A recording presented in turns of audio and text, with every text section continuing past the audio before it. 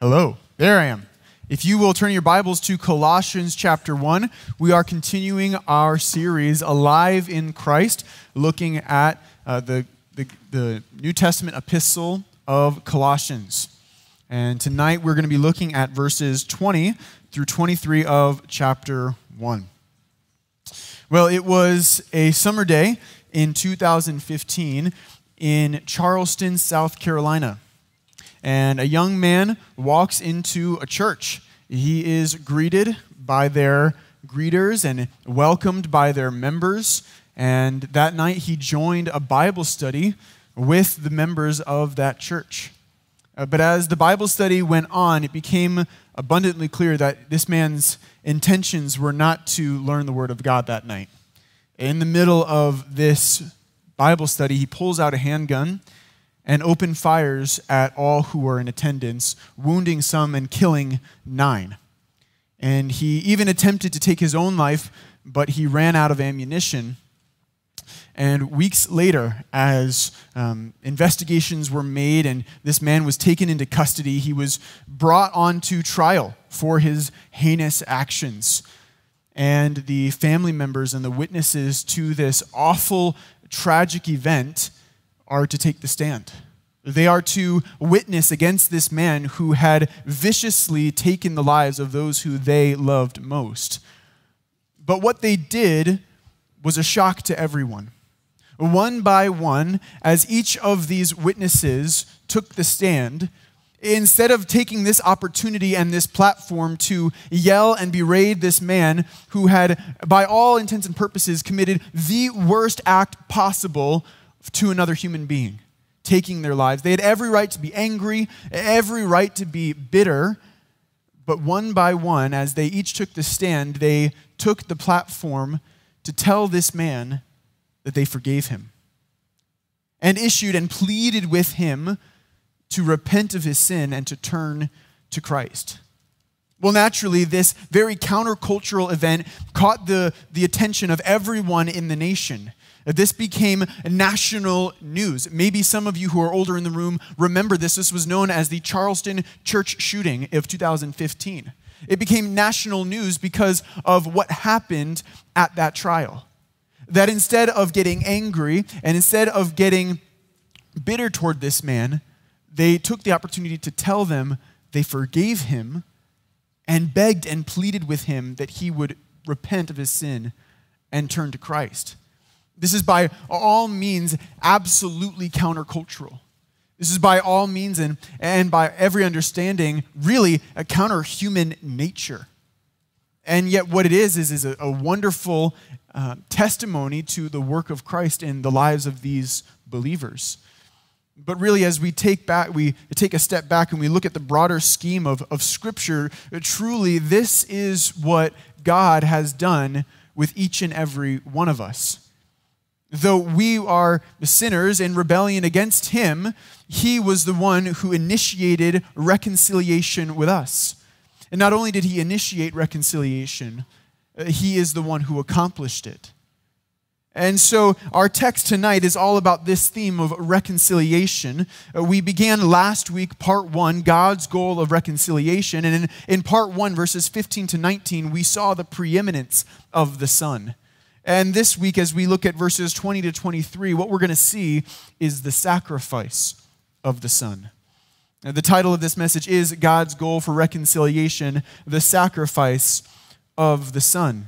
And in, and in Colossians chapter 1, verses 20 to 23, we see God's plan of reconciliation. We see our need for it and also the means of it, so that you and I would be able to worship God and increase in our love for Him because, he has, because of what he has done for us through the Son. And so you have your Bibles open. We will read our text for this evening, verses 20 to 23. The Word of God reads And through him to reconcile to himself all things, whether on earth or in heaven, making peace by the blood of his cross.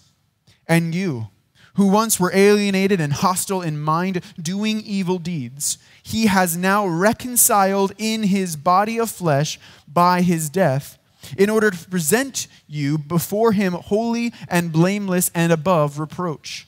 If indeed you continue in the faith, stable and steadfast, not shifting from the hope of the gospel that you heard, which has been proclaimed in all creation under heaven, and of which I, Paul, became a minister. As we jump into our text for this evening, it's important for us to remember uh, what where we've come from in Colossians. In verse 10 of chapter 1, Paul issues a command to the Colossian believers to walk worthy of the Lord, fully pleasing to him. In verses 13 and 14, Paul reminds us of the redemption that we have in the Son, that is Jesus Christ. It is He who we have redemption through the forgiveness of sin. And in verses 15 to 19, which is where we were last week, talking about the preeminence of the Son. Uh, he has preeminence over all of creation. And we see that in verses 15 to 17. And in verses 18 and 19, we see that the Son has preeminence over the new creation, that is the church.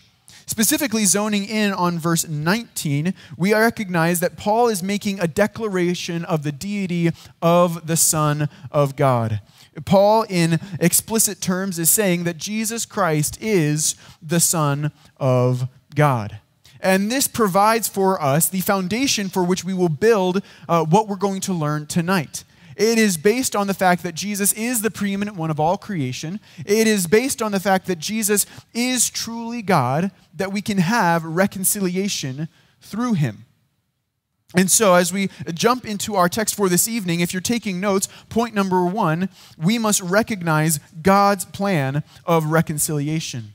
In verse 20, we see that it says that through him, this is the Son, we are, he will reconcile to himself all things. Uh, God's plan of reconciliation is Jesus Christ the Son. Period. God's plan of reconciliation consists of the sending of the Son of God. The major theme of these verses that we're going to see is this idea of reconciliation. Um, but for maybe some of you, maybe that word is, is a little foreign. Maybe that's a word we don't use in our everyday vocabulary. And so, just a helpful definition for this word reconciliation is the word to restore. It is to bring back to its proper place. It is to restore to the condition that it once had before it had fallen. And for you and for me, uh, ever since Genesis chapter 3 and the fall of man into sin, man has been in a state of corruption. A man has been in a, in a state plagued by a sinful nature. You'll recall uh, that back in Genesis chapter 3, God pronounces curses upon the serpent, he pronounces curses upon man, and he pronounces curses upon the woman. And this is in light of their rebellion against God. A man, we, we ate from the fruit of the tree that God uh, commanded Adam and Eve not to eat from. And from that point on, man was plunged into a sinful state. A sin had now entered into the world, and the world, as a result, was corrupted. And you'll recognize, even if we were to look at Genesis chapter 3 tonight, that the curses that God pronounces on the serpent and the man and woman don't end there. God also pronounces curses and judgment upon all of creation. Ever since the time uh, of the fall, creation itself has not been what it was created to be. And in Romans chapter 8, verses 19 to 22, uh, Paul details how man's sin has subjected creation to futility. And so when Paul, Paul talks about this idea of reconciliation, there is, in one sense, a human component of it, but really, there's also a universal component to reconciliation. It is not just that Jesus, in and of himself, is going to be what restores man to God, but in a greater and larger sense, Jesus is what reconciles and restores all of creation. Jesus' death on the cross did so much more than just atone for sins, though it certainly did. The cross accomplished a restoration of the entire creation, both physical and spiritual.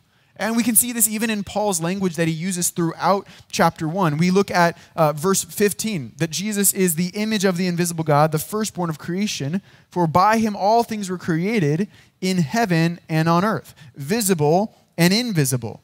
And later on, we see that Paul uses this same language to talk about the difference between that which is fleshly or material and that which is spiritual.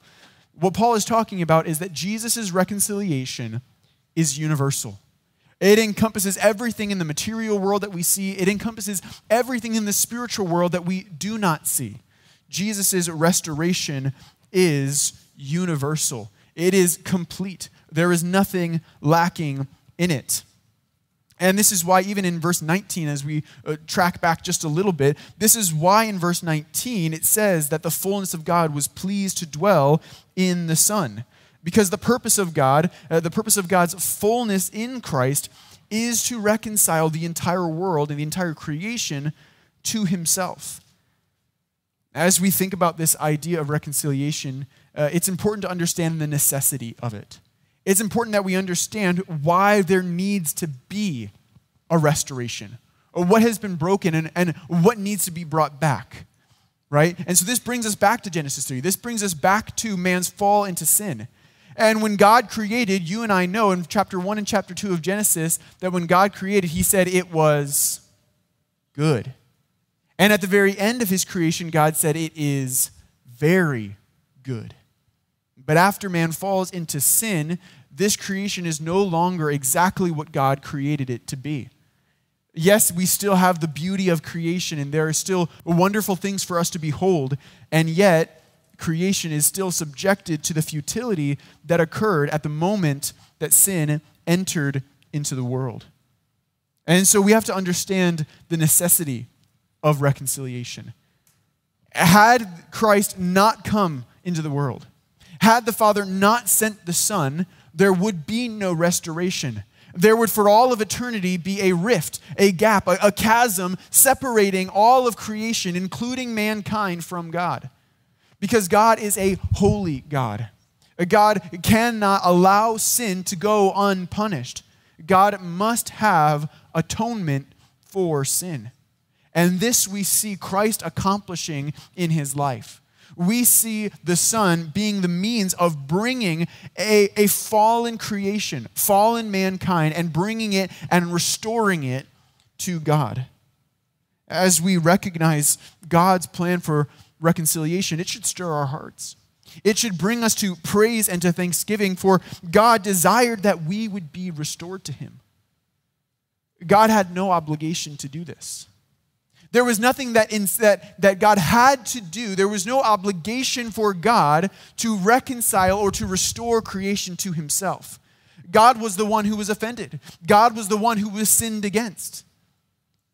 And yet, even though we think about this idea of reconciliation, really the, the, one who should be the initiator, traditionally and typically, should be the one who is the offender the, the guilty party is the one who is responsible to initiate and to begin the process of restoration.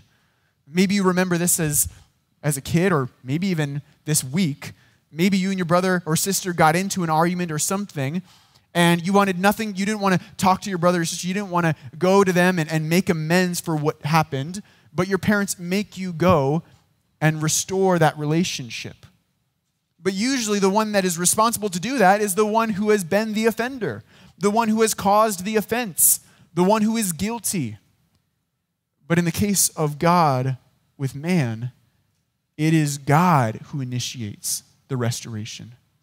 It is God who not only initiates the reconciliation, but He is the one who accomplished it. And He accomplishes it through His Son. This is cause for great praise and thanksgiving because you and I are unworthy and undeserving of a relationship with God. You and I deserve the just payment and the just judgment for our sin. But thanks be to God who did not leave us in our sin, but demonstrated his love for us in not only initiating, but accomplishing a restoration, a reconciliation for us. Through the sending of the Son, God has shown that there is no limit, no length to which His love will not go to accomplish His plan of reconciliation. Romans 8:32 says, "He who did not spare his own son but gave up for us all, how will he not also with him graciously give us all things?" And God has graciously given us all things through the Son. This is cause for great praise. A great worship is due God for what he has done for us in accomplishing reconciliation for us. This notion of reconciliation becomes even more apparent when we look at man's condition. When we understand man's true character and we understand his true state, this idea of reconciliation becomes so much more important to us. Uh, which is why Paul then leads us into verse 21. If you're taking notes, our second point for the night is to realize that man is in desperate need of reconciliation. Verse 21 reads, And you who were alienated and hostile in mind, doing evil deeds. This is not a very good recommendation letter. You know, some of you who are in uh, uh, upperclassmen, maybe you're a junior and senior, you're prepping for college, you'll ask maybe your teachers in school. Uh, some of you have even asked me for recommendation letters. And if this were to go onto a recommendation later, uh, it would be very difficult for you to get any position in any school. This commendation, or really it's a condemnation. Paul says, You are alienated, hostile in mind, doing evil deeds. What we see from verse 21 is that obviously the enmity that exists between God and man exists because of man's rebellion against God. Romans 5:12 says there is therefore there is uh, just as sin came into the world through one man and death through sin and so death passed to all men because all sinned. Uh, earlier in Romans uh, 3 10 and 12, Paul says, As is written, there is none righteous, no, not one. No one understands. No one seeks for God. All have turned aside. Together, they have become worthless. There is none who does good, not even one. And so it is certainly the case that a man is separated from God because of initial sin and the sin of Adam and Eve, but it is also the result of our own sinfulness that we are separated from God. It is a result of sin that God is now only accessible through atonement. But it is not as though man is desirously longing for this reuniting and restoration with God. It is not though man is pleading and begging to be reconciled to God and God is unwilling. No, what Paul shows us here is that it is man who is hostile toward God. Man is in rebellion by his evil works. The alienation here in verse 21 is not due solely to God's disposition towards man's sin because of his holiness, but truly the result of man's love of his own sin and his hatred for God and his law. We see this word alienated. It's a, it's a strong word. It, it's a powerful word that, that, that describes a persistent and permanent condition of total separation. It is not as though there is some maybe uh, minor um, commonality between man and God. It is not as though it is a strained relationship. The language here is, is that of describing enemy forces. They have nothing in common.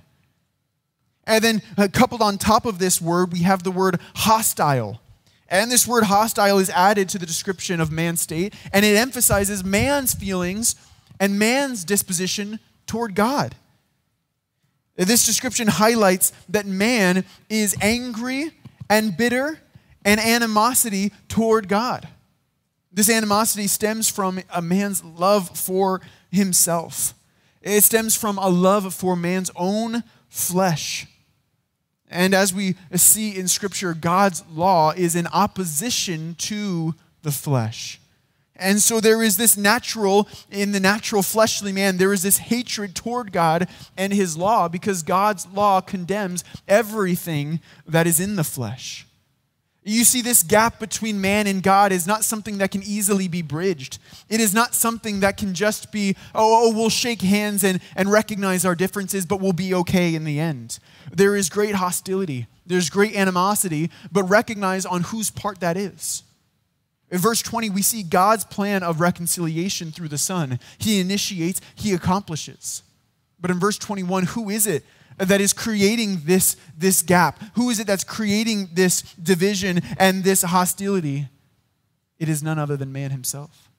is none other than you and I. In loving our own sin and hating the law of God, this is what causes the division. And it works itself out, Paul says, in the working of evil deeds. Man truly is in a desperate position. He is alienated from God, completely and totally separated. And this is by his own choosing. Not only this, but he's also incapable of making peace with God. This is why Christ is so necessary. Verse 20 Jesus is the one who makes peace. We need this mediator between God and man. And not only does man need reconciliation, but he needs to respond rightly to reconciliation. The only right response to all that God has done in the Son is to respond with repentance and belief. Repentance is turning away from everything that is displeasing to God. That's all that your sin, all your living according to your flesh, and turning to obedience to Christ and His law and His word. This is the only right response. This is the only way that you can be reconciled to God. And I'm under no delusion. I'm underneath no uh, deceit that there are people in this room tonight who, verse 21, sadly, is a description of their lives. Maybe not on the outside. Many of you have grown up in the church. Your parents take you to church ever since the time you were a little kid.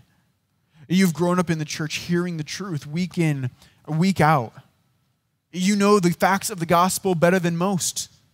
That Jesus was born of a virgin, lived a perfect sinless life, at the age of 33, he died on the cross for sins, and three days later rose from the grave.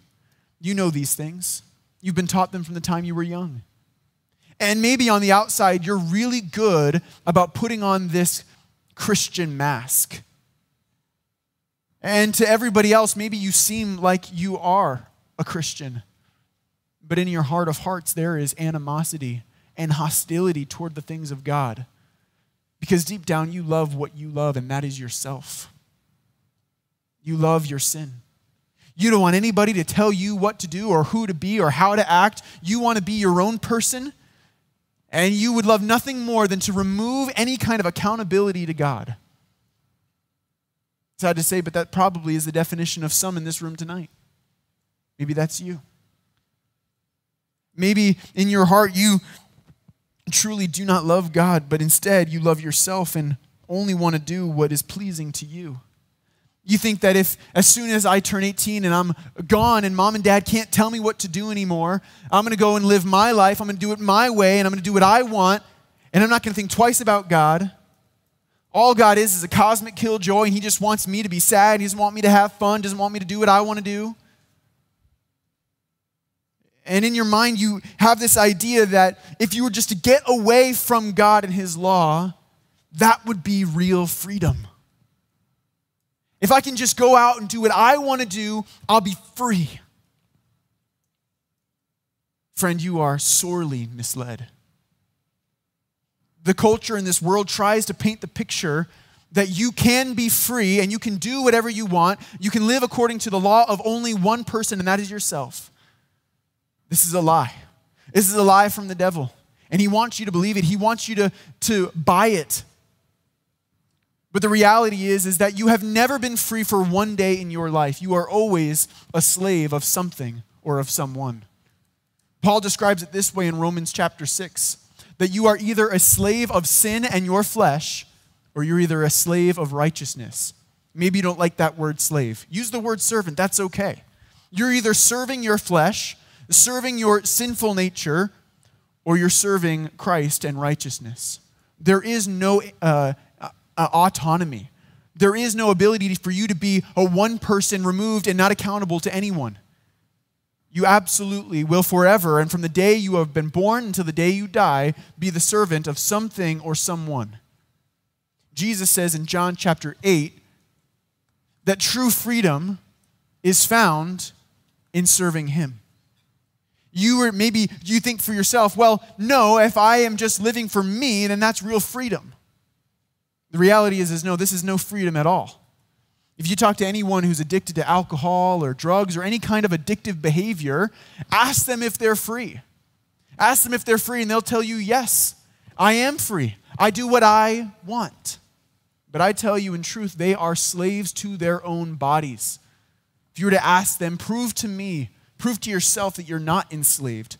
Go a month without X, Y, or Z, fill in the blank. Go a month without this behavior. And I guarantee you they won't be able to do it because they are enslaved. They are ensnared by whatever that addictive behavior is. For you, maybe it's not that outright, maybe it's not that obvious. But try to deny yourself. Try to deny your own flesh without being in Christ, and you can't do it. Because you are a slave of your own flesh. You are a slave of your own passions and desires. This is not true freedom. The devil and the world and the culture would love to tell you that this is freedom, but it's not.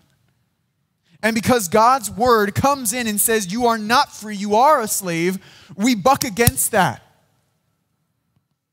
And we hate that. Because we don't want anyone telling us what to do. We don't want to be accountable to anybody.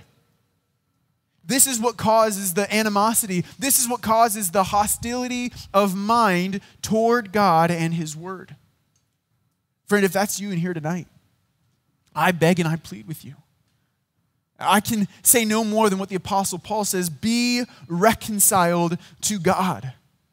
You are not free, you are enslaved to your flesh. True freedom is only found in placing your faith and obedience to the Son. This is true freedom. Following after Him is what real freedom is. And so we need to realize man's desperate need for reconciliation. But in verse 22, we also see that we need to remember that Christ's death was the means of reconciliation. In verse 20, we saw that the Son of God is the agent of reconciliation. But here in verse 22, we see that he is also the means of reconciliation. And the means of reconciliation truly is the death of the Son. Read verse 22 with me. He has now reconciled in his body of flesh by his death in order to present you holy and blameless and above reproach before him. Jesus' body provides the means of atonement. And this is why it's so important that Christ not be just God, but he also be man. As a man, Christ was able to die. And as God, Christ was pleasing to God and a sufficient and infinite sacrifice for sin. Christ needed to become a man because only a man could die for sin. The payment or atonement for sin is death, and God cannot die. And so, this is why, even last week, we talked about this term, the hypostatic union. Jesus has one, he is one person with two natures, both the human and the divine. And it is absolutely necessary that Jesus was both truly God and truly man, because only a man can die, and death is the price to be made so that we might be reconciled to God. So, as Christ took upon himself a body, he took it up solely for the purpose of fulfilling all righteousness. That's Matthew 5 20. He, to, to fulfill all righteousness and then also to lay his body down as this price for atonement. And by his death, Jesus accomplished all salvation for all that the Father had given to him.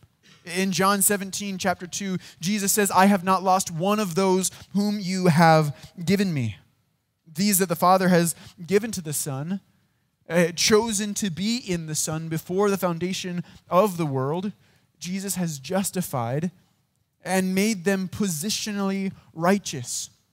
So that when they on Judgment Day stand before God, they are not seen by their, their guilty works and their sinful deeds, but they are seen by the righteousness of Jesus Christ. And even now, in the present day, Christ is sanctifying them so that they might become holy and blameless and above reproach. I want us to focus in in verse 22 on this word in order to present you. And this idea of presentation is one that flows all throughout Scripture. And what really we come to find out is that reconciliation is not really just about us. We are certainly the beneficiaries of reconciliation, but it is not all about us. You see, the purpose of this sanctification, this presentation, uh, bringing us, making us holy and blameless and above reproach, is so that Jesus might present his chosen ones, eh, the church, to the Father. Uh, this is in Ephesians chapter 5, verse 26 and 27. Turn there with me quickly, and we'll, we'll look at this verse. In Ephesians chapter 5, verses 26 and 27, it says, uh, Jesus is sanctifying the church that he might sanctify the church, having cleansed her by the washing of water with the word, so that he might present, there's that word again, the church to himself in splendor, without spot or wrinkle or any such thing, that she might be holy and blameless without blemish. Again, in 1 Corinthians 15 27 and 28, uh, it says, For God has put all things in subjection under the Son's feet but when it says all things are put in subjection, it is plain that he is accepted who put all things in subjection under him. When all things are subjected to him, then the Son himself will also be subjected to him who put all things in subjection under him, that God may be all and all. Friends, this is God's goal of reconciliation right here the Father gives the Son. 1 John 4 14 says, The Father sent the Son to be the Savior of the world. Then, in response, the Son willingly submits, obeys perfectly, and redeems. We see this in Philippians 2 6 to 8. But God, but the Son, who was in the form of God, did not count equality with God a thing to be grasped, but took upon himself the form of a servant. Being found in human form, he is obedient even to the point of death, death on a cross. And then, in response to this uh, perfect obedience and this rege- uh, redemption that the Son accomplishes, then the Father exalts the Son and gives him preeminence over creation in the church. This is what we talked about last week in Philippians 2 9 to 11. The Father uh, gives and bestows upon the Son the name that is above every name, so that the name of Jesus every knee should bow in heaven and on earth and under the earth, and that every tongue should confess that Jesus Christ is Lord to the glory of God the Father. And then after this, after the, the Father uh, exalts the Son, then the Son goes about the business of cleansing and purifying these people that the Father has given him in order to present them to the Father as a holy people who will then go on to worship him for all of eternity. This is God's goal of reconciliation. It's not about you and me. Oh, man, are we the gracious and, and are we the undeserving recipients of the wonderful reconciliation that God has accomplished? Yes, amen and amen. But God's goal in reconciliation is far greater than just you and I, and I want you to see that. Because in all of eternity past, before the creation of the world, before the foundations of the world were laid, God in the Trinity, in perfect unity and love, came up with the plan of reconciliation and the plan of redemption that the Son would go and be that which uh, redeems mankind to the Father. The Father then would elevate and exalt the Son, and then the Son would purify and sanctify people who've been exposed to the grace, the mercy, the love, the compassion, all the attributes of the Father, getting to experience His fullness so that in all of eternity we might be able to worship Him so much greater. Can you see it? Do you understand? You and I are a loved gift from the Son to the Father. You and I are going to be, and our purpose in all of eternity is to worship God in light of the grace and the mercy that we have seen and witnessed in Him through the Son. This is God's goal of reconciliation. We are being prepared to be a gift and love offering from the Son to the Father. This is the great story of redemptive history. This is the great story of reconciliation.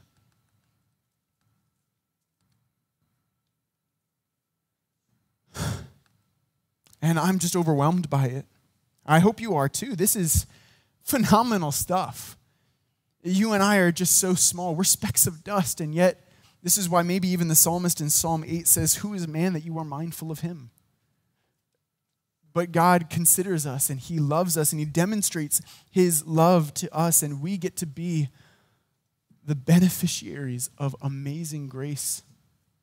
We, though we don't deserve it at all, get to be reconciled to God as part of a love gift from the Son to the Father. And so, how do we respond to this? How do we understand this and then how do we use this knowledge to affect our lives? Well, I think it's obvious at the end of verse 22. If Jesus is preparing us to present us, how is he preparing us? He's preparing us to be what? Um, oh, I'm still in Ephesians. He's preparing us to be holy and blameless and above reproach. If this is what Jesus is preparing us to be, then it rightly follows that we ought to be pursuing these things. We ought to be, as Paul says in verse 10, walking worthy. We ought to be walking worthy of the manner by which we have been saved, walking worthy of the gospel of Jesus Christ, walking worthy of the demonstrated love of God through him. This is how we are called to live, and this is what Christ is preparing us for, and so this is how we ought to live. We ought to live constantly desiring to be holy and blameless and above reproach, dying to the deeds of the flesh, those things that were causing us to be alienated from God, and living to those things that draw us to be pleasing to God. We've talked in weeks past that the only way that we're pleasing to God is being like Christ. Matthew 3:17, the Father speaks from heaven, "This is my beloved Son in whom I am well pleased." We can be pleasing to the Father by emulating the model and example of the Son. And so we see in verse 22 that we need to remember that Christ's death was the means of our reconciliation. It was the pivotal point of all of uh, redemptive history that Jesus would accomplish salvation, he would accomplish reconciliation for us. Well, this brings us to verse 23, and Paul changes his, his tune a little bit. It's been glorious and, and magnificent. Paul speaks in cosmic and universal language, but then in verse 23 issues a stern and sober reminder. You and I must remain steadfast in our love for God. If you're taking notes, point four, we must remain steadfast in our love for God.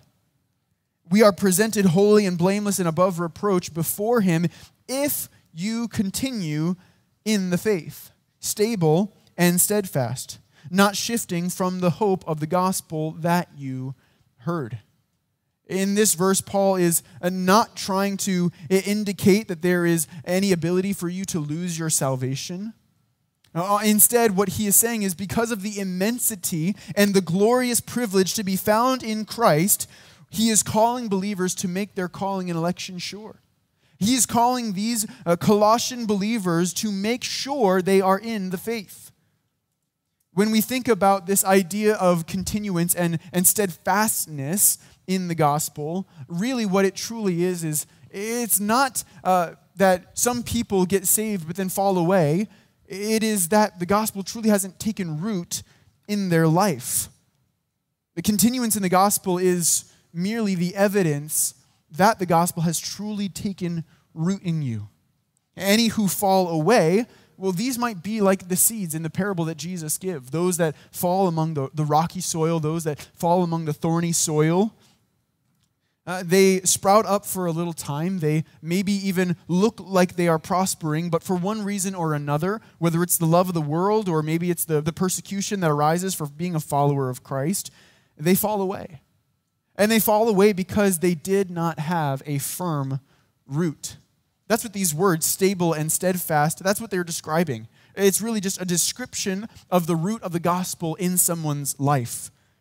If the gospel has firmly taken root in your heart and your mind, you will not live according to your flesh. Maybe not perfectly, but the trajectory of your life is no longer, I want to live for me, and I don't care what God's law says. Instead, if the gospel has truly taken root in your life, and you understand this amazing truth that God demonstrates his love for those who were his enemies by giving of his only son who would die in their place and accomplish redemption and salvation for them. If you truly understand and believe that, you're no longer going to want to be living in opposition to God's word. You're going to be wanting to live in a way that's pleasing to Him. You're going to be wanting to live in a way that is in accordance with what He commands. Uh, even uh, Romans 8, verses 6 and 7 say, For the mind that is set on the flesh is death, but to set the mind on the spirit is life and peace. For the mind that is set on the flesh is hostile toward God, for it does not submit to God's law. Indeed, it cannot. And so the person who is stable and steadfast, the one who's not shifting away from the gospel that they have heard, it is not because they have any more ability to grit their teeth or be able to withstand things on their own power. It is because the truth of the gospel has taken firm root in their life. It is that they understand it and they believe it. And God has done a work of restoration in their lives. A part of the purification process, verse 22 talks about, right? If Jesus is going to present us holy and blameless and above reproach, it is absolutely necessary that we do not stay in the same condition that we were in when we were first saved. Can I get an amen? It is absolutely necessary for you and I to be changed and to be transformed from the life that we once lived according to the flesh to be living in a way that is now pleasing to God. And the way that God does this is by bringing different things into our lives to weed out the, the bad character, to weed out the bad practices, and to help instill in us good things and good works that are pleasing to God. This may come in the shape of trials. This may come in the shape of suffering. This may just come through the hardships that are uh, coming your way because of the sinful state that this world is in and that we don't live in a perfect world. But for one reason or another, if you truly are in Christ, this, the suffering that you experience in this life and the trials that you endure uh, don't make you want to go away from Christ, but help you get more firmly planted in Him. This is what Paul is talking about. And this is truly because of the love that we have for God, because of what He has done for us. This is why it's so important for us to get the gospel right. This is why it's so important for us to know what we believe. This is why it's so important for us to understand what God's goal of reconciliation is. Brothers, sisters, it is absolutely true that Jesus died to save sinners, of which you and I are chief. You and I are unworthy of the restoring and reconciling love of the Father. We're unworthy of the death and body and blood of the Son. We are unworthy to be partakers of the inheritance that will be given to the Son. We are unworthy to be called the children of God, and yet all of it has been graciously given to us. The only right response then is for us to walk worthy. It's for us to endure the trials and sufferings of this life with great joy and satisfaction that we get to do these things, that we know that God is working in us our purification, our sanctification. God is working in us, making you holy and blameless and above reproach, so that one day you can be presented before the Father as holy worshipers for Him for all of eternity the underlying theme of these four verses is reconciliation. Reconciliation, not just of man, but also of all creation. And God has, as we've seen, accomplished reconciliation through the Son. His death was the means of accomplishing it. Man needs to be reconciled to God. We're alienated and hostile in our own ways. We need to be repentant of our sin and all that is causing this hostility toward God. Indeed, all of creation will one day be reconciled to God in the end. Scripture tells us this much.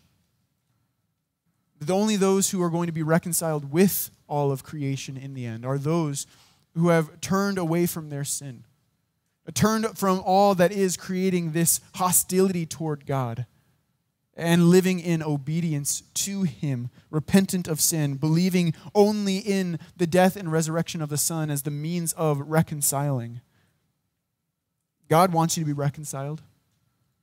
And he gave his only son as a demonstration of his desire for you to be reconciled to him. So I can do no better. I can't add to the words of the Apostle Paul. He says, I implore you, on behalf of Christ, be reconciled to God.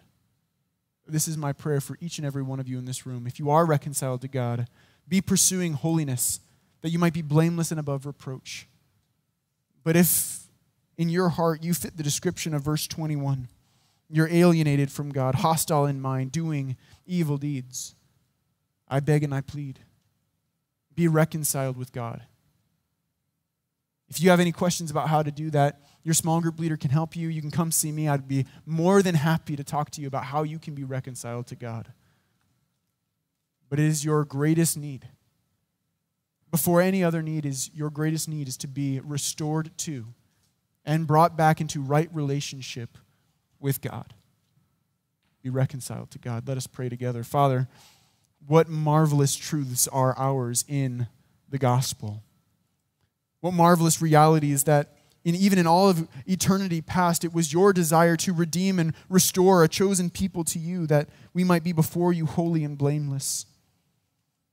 Though man rebelled against you, you demonstrated your love in the sending of the Son and the accomplishing of salvation through his death and resurrection.